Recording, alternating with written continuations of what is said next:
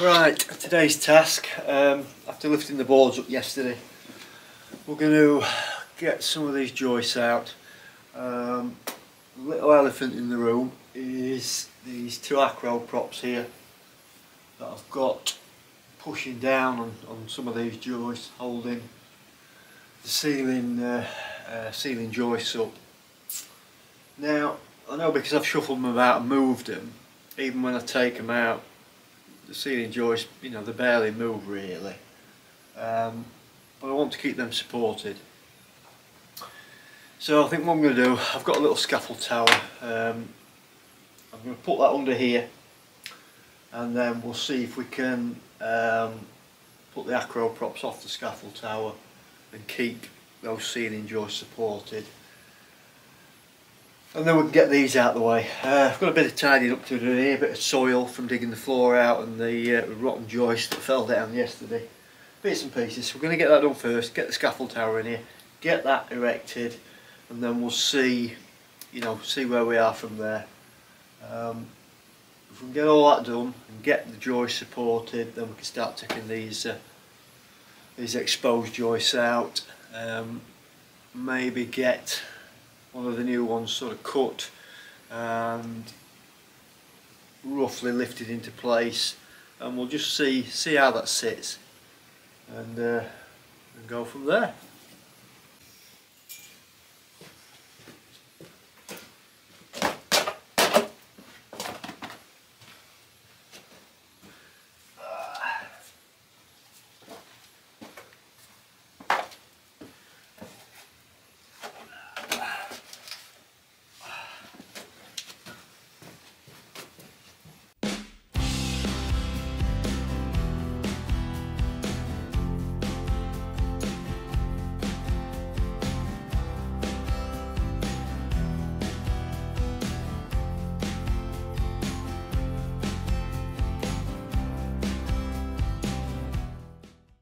Right, so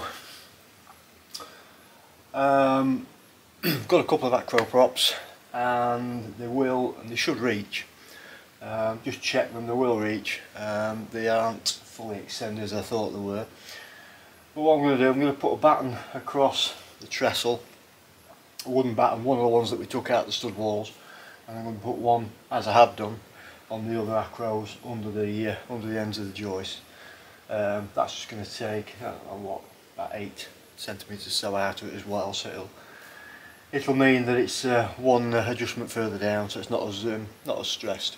It's going to be a bit of a faff doing it on my own holding things up and adjusting stuff and one thing and another but hopefully we'll get it done.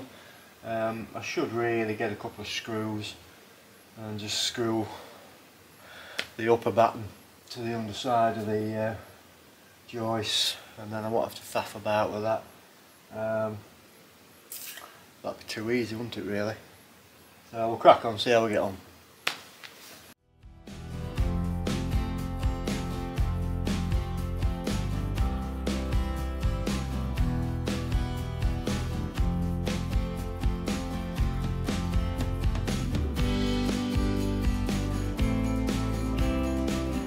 Got that done. Um, that central board take up now that the uh, the other acro props are on. So we'll get that out of the way. And um, then we'll have a look at taking a few of these joists out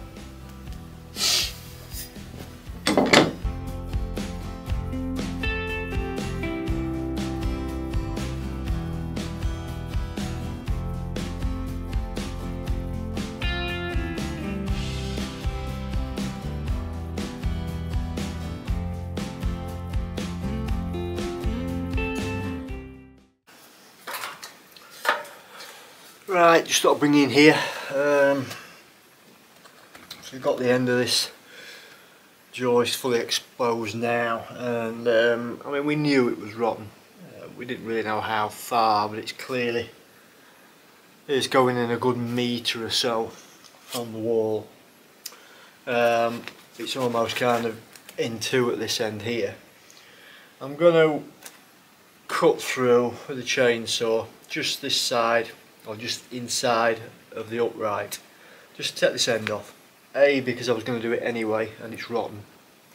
Uh, B that's going to give me then access to drop um, one of the new joists in because we know this is too high uh, to keep the floor level as it is anyway. But if I can take this out and you know make the recesses uh, appropriate for the new joist roughly. Then I can drop one in um, and kind of get it so it's more or less level with the existing joist because we know they're somewhere near. Um, and then we can kind of go from there really. Uh, it's uh, it's a bit of a um, you know I'm debating really whether to keep this long long joist or not it's clearly not going to be in very good condition. Uh, uh, not that it matters so much because it's not going to be structural. Um, but it might cause more problems than you know than it solves. It doesn't really solve any problems but um, it might cause more. Leaving it in and taking it out so we'll see. We'll see anyway. I'll get this end chopped off. Stay where you are. And um, go from there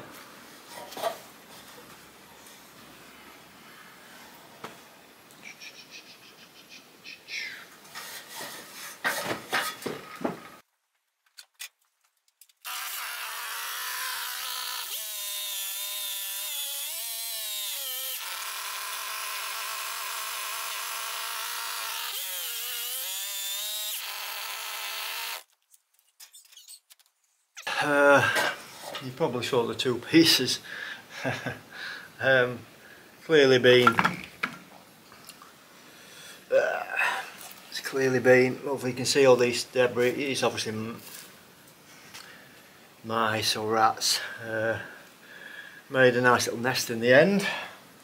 Bless them.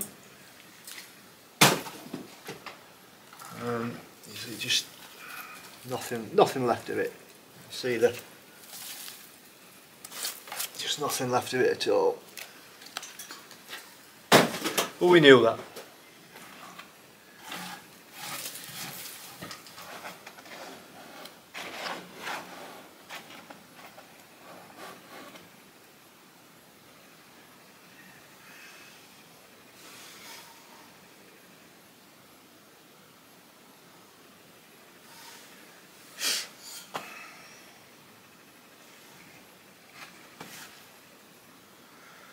There's actually a board underneath in between this joist and the upright. Um, 30 40 centimetre board um, is going to be ideal actually it's going to help me sit the um, sit the uh, the new joist on so let's see if we can get on with that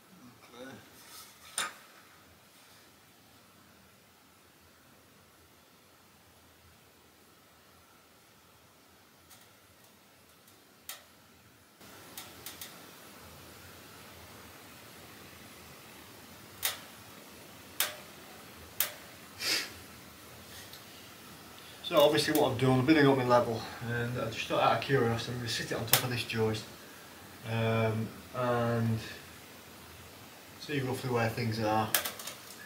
And uh, sorry disturbing noises from the ladder on the wall. Uh, yeah obviously as I'm following the laser around um, the joist top on that wall and the one next to it they're pretty much bang on and same at this side so it's surprising really as um, kind of outline out shape warped rotten that these joists are and floorboards etc it just shows it's not far away at all. Now I'm not aiming for perfection. Um, I'd like to be somewhere near. But anyway, this is going to give me um, a guide, obviously. Put this, I can measure from the top of that laser line there down um, 22 and a half uh, centimetres, which is obviously the depth of the joist. So I can clear out below enough so I can slot that in. And the same on this side. Um, I know I've got plenty of clearance here. And then we can um, perfectly measure it as well. I've done it roughly. I mean, clearly these are six metre. I know it's no more than we don't need any more than five and a half, so we've got plenty long enough. Um, but obviously we'll double check again, make sure we get um, exactly exactly what we need. We want at least 30 centimetres into the wall, I think. Uh, and then, um, yeah, we're going to have to uh, address this hole in the wall before we put one in on this end, I think. Uh, obviously the end of the joist was in there before. Um, clearly it's not in there now and it's not going back in there, so we are going to have to backfill it you know, build it up flush. I've, I've got uh, plenty of stones kicking around, so we'll uh, that'll be my first little bit of uh, rebuilding on the walls, uh, and then we'll drop the joist in uh, a little bit more permanent, and uh, go from there.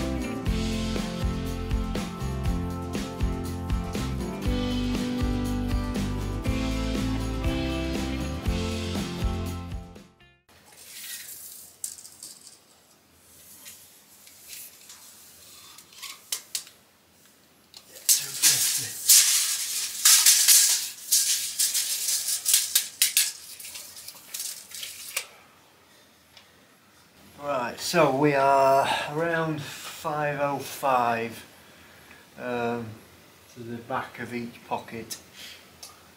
Um, need to go back a little bit further.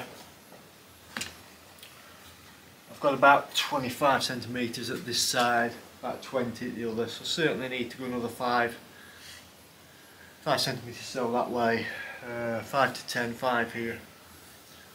So we're looking about 5.2 which I knew the room width was between 4.6 4.7 so it kind of tallies up. Uh, so we're good to go.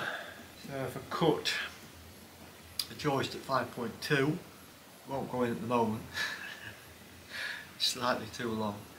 Um, yeah, let's take a little bit more out. Um, but we're not far away.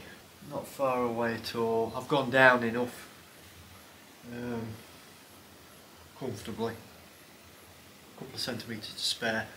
Um, but I think what I'll probably do is end up putting a I don't know whether to put a little um, lime mortar slither in, a little slab um, or something else uh, just to uh, just to get it spot on don't know, we'll see. Plenty to do before we uh, we do that anyway. But uh, yeah, we're getting there.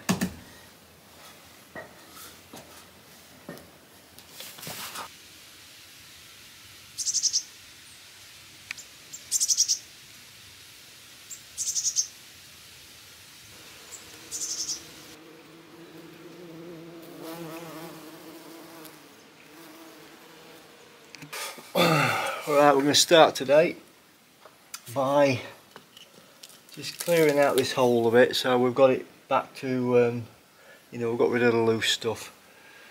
Uh, so we can see what we've got and what we need to rebuild. Um, I've been got some hydraulic lime this morning, some sharp sand. Um, we're going to go with hydraulic lime for this wall because of its um, exposure to the sort of damp ground at the back. You know, hydraulic lime apparently, you know, it is re more recommended for either exposed or damp conditions, etc.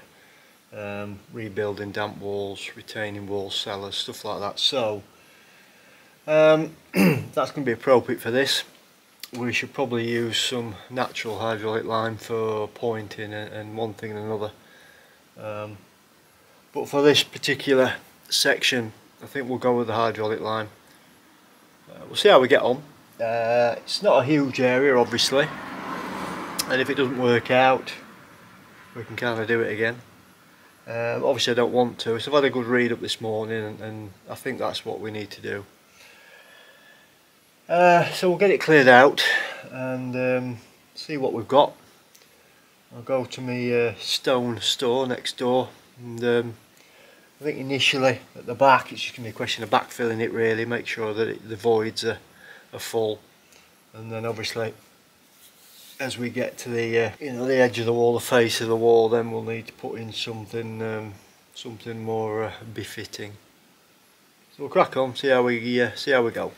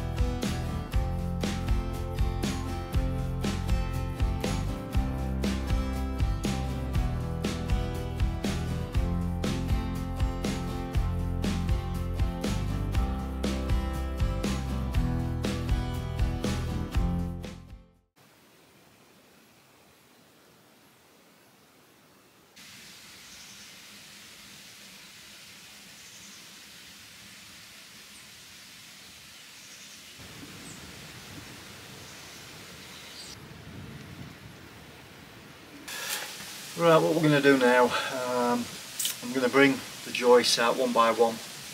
I'm going to cut them down to around 5.2 metres, which is roughly what we need um, to allow 25-30 centimetres at each end into the wall.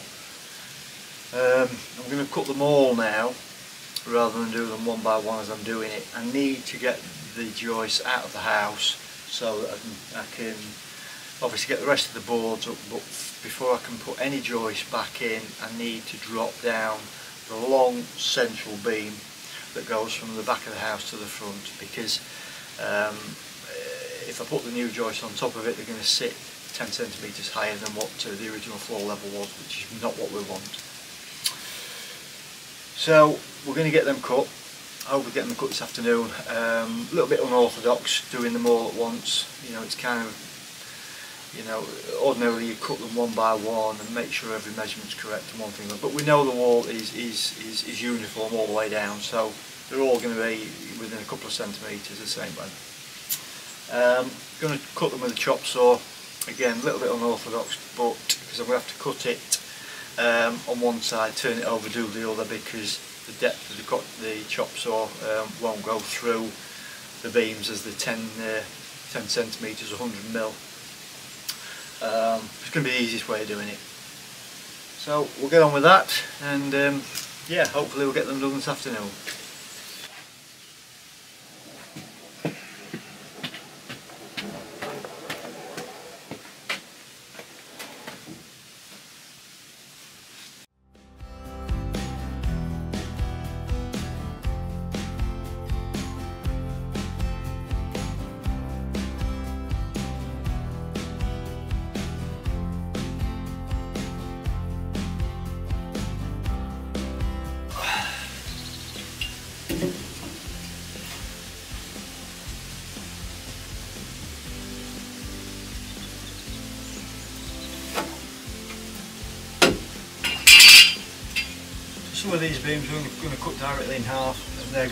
Room. Um, room width is about 2.3, um, cut these in half at 3 metres and that'll give us plenty of leeway. We might have to cut them down a little bit at a later date but um, cut them in half now and then uh, sit them inside out of the way. They're um, easy to move so we'll have to move them at a later date when we need to get floor up but for now we'll cut them and put them in there and they're out of the way.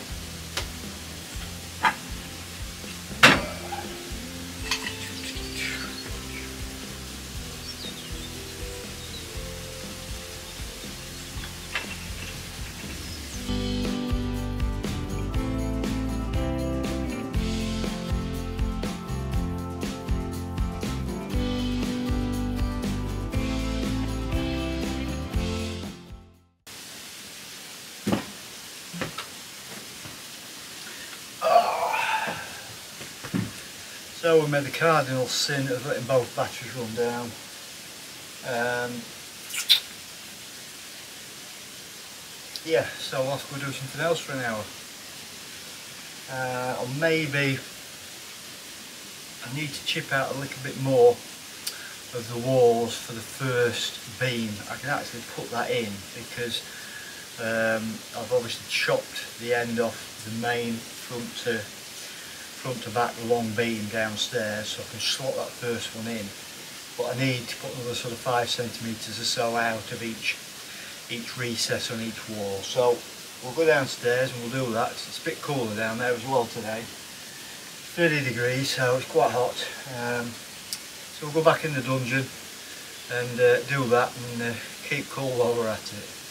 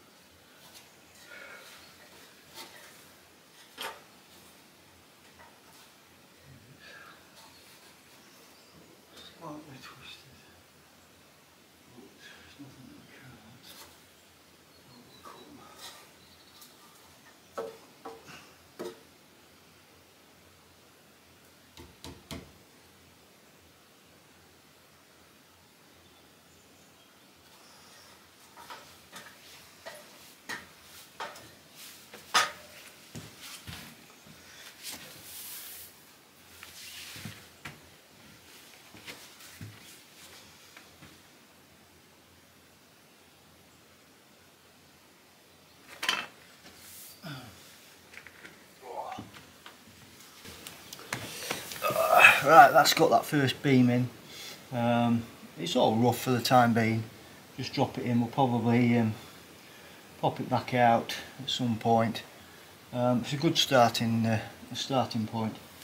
Um, I'll just chop it down another seven or eight centimetres, a little bit long. I think the very end of this room is probably the narrowest it is. Only deviates by about 10 centimetres, but of course um, we cut it too long, didn't we? So but uh, just a few minutes just to take the end off so nothing drastic. Um, I think you can just about see on the camera I put the level on just to see where we are.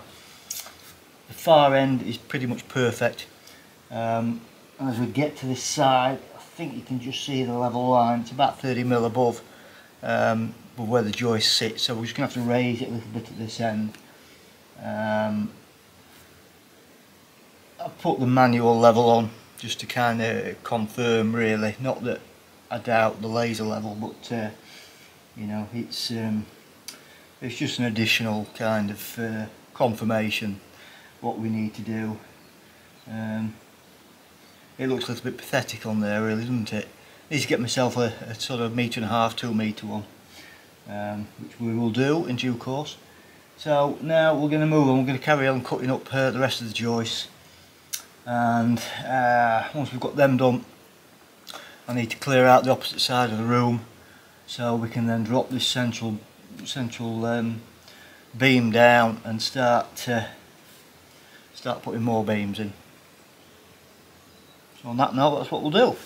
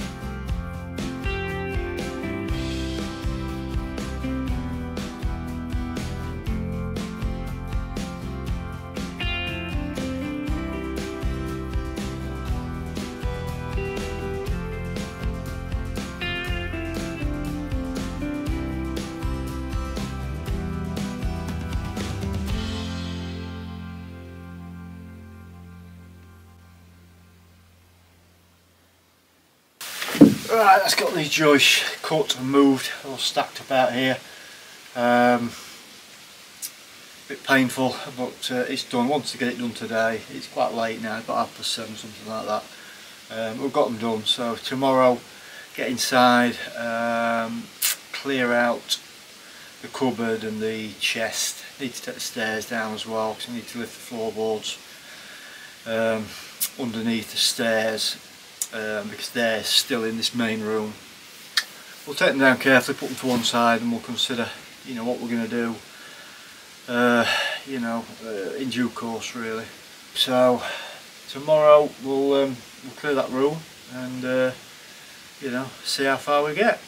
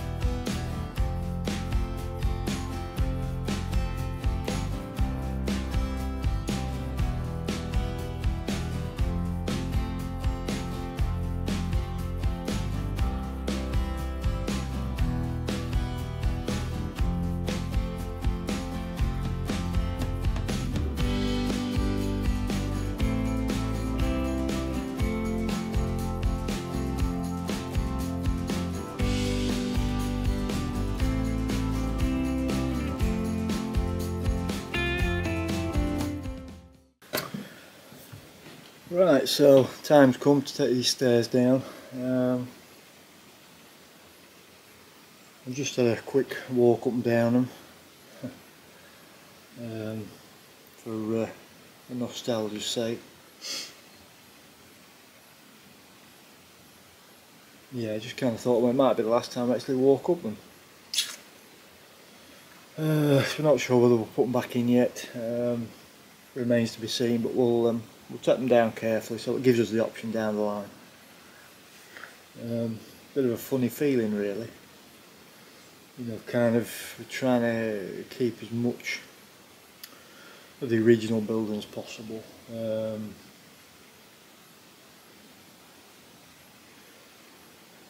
don't really want to take them down, to be fair.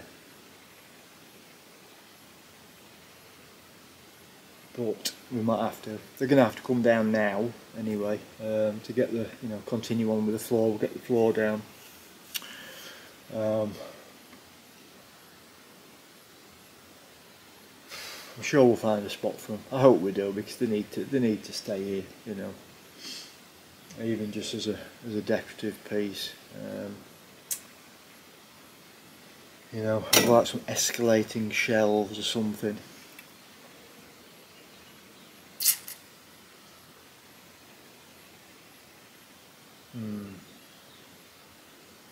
Gonna miss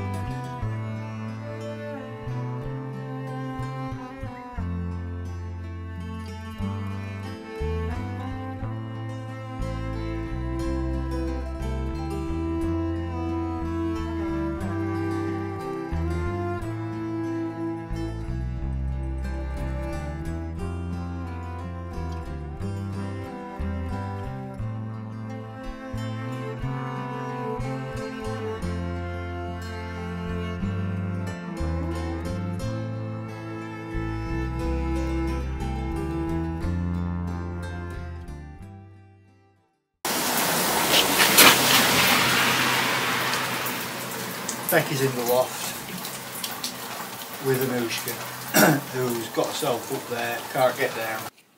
Hey, we got stuck, Noosh. Come on. Why have you come up? Hmm? Come Probably followed Alfie up playing. Uh, Alfie can get himself up and down. Here he goes. There you go, no problem. Hey, show Noosh your hands done then. Go on then, do daddy. Come on, mate. Good Come on, good Al. Go on then. You go down. Good There you boy. go. See? Come on then. Come on. It's like this line. We don't want to cross this line. Hmm? Good cat. Right. This way. So, I'll begin the rescue mission.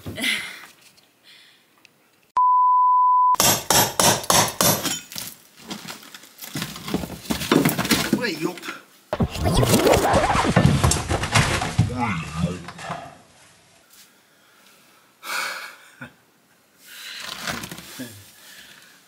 dear. Heart racing.